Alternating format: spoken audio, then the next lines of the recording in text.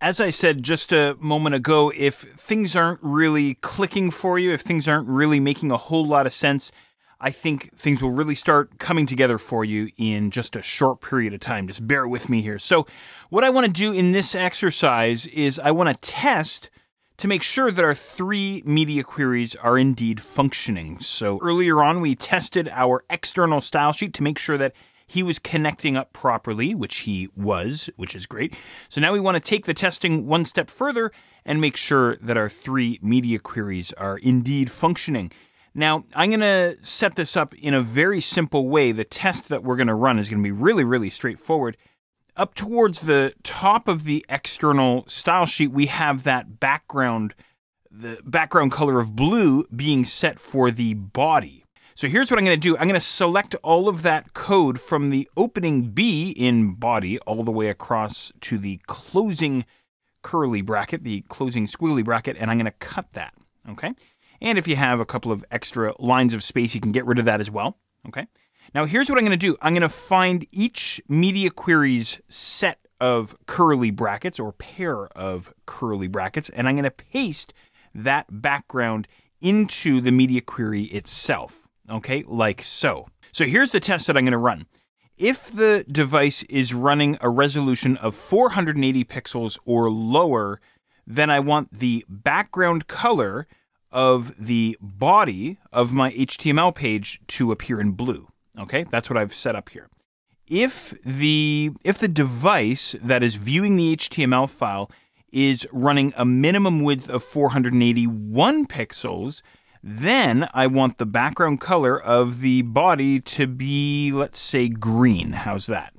And I want that green background color to be applied for all of the devices that are running 480 pixels or lower, unless they're running a resolution of 1024 or higher. Okay, are you still with me? Okay, so I'm going to change his background color to, let's say, red. Now, one other thing that I want to change here, I realized earlier on I made a minor typo. I typed in mid width rather than min width, M I N. Okay, so my mistake there. So, this is a very, very simple test, as you can see, to make sure that the three media queries are indeed functioning correctly. All right, so I'm going to go ahead and save up my external style sheet. I'm going to flip back over to my browser and I'm going to refresh. I'm just going to hit Control or Command R on my keyboard to refresh. Okay. Now, just so you know what's happening here, the resolution that I'm currently running on my computer is 1024 pixels in width by 768 pixels in height. So there I'm getting the red background coming through, which is great. Now, how the heck am I going to test the other devices? Well, I guess I could plug my tablet into my laptop and, you know, test it that way, or maybe upload all of this to a live web server and then pull out my my smartphone, you know, something like that. Definitely I could try that. Or what we can do for the sake of time and for the sake of simplicity is we can simply resize our browser window. As soon as I grab my browser window and start to resize them, the background color changes from red to green because now the the overall width of my browser window is less than 1024 pixels. Okay, great. So that is functioning for me. I know that my high resolution media query and my medium resolution media query are working, which is great. Okay, I'm going to continue scaling this guy down all the way down until I see blue. There's the breakpoint going from 480 pixels to 481 pixels. So from the low resolution to the medium resolution, and of course, medium resolution to high resolution, right? So there you go. There's a really easy way to go about testing your three media queries. Okay?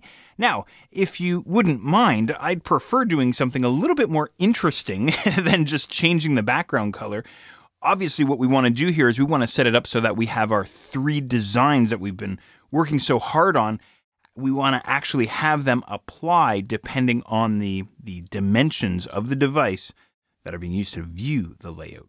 Okay, so this is a kind of a down and dirty way, a simple way that we can go about changing our device, changing or flipping between our media queries. In the real world, this works beautifully. This works really, really well. I've done this myself quite a number of times. The other thing that I wanted to mention, though, is that I do indeed want to eventually get my design loaded onto a live web server, and I'm going to pull out my smartphone, I'm going to pull out a tablet and go to the live site itself to see it behaving on an actual device. Okay, so keep that in the back of your mind as well. So if I flip back over to my external style sheet, the three media queries are functioning beautifully, which is great. Now I have a couple of techniques that I want to bounce off you for simplifying the external style sheet even further to help you keep track of exactly what's going on.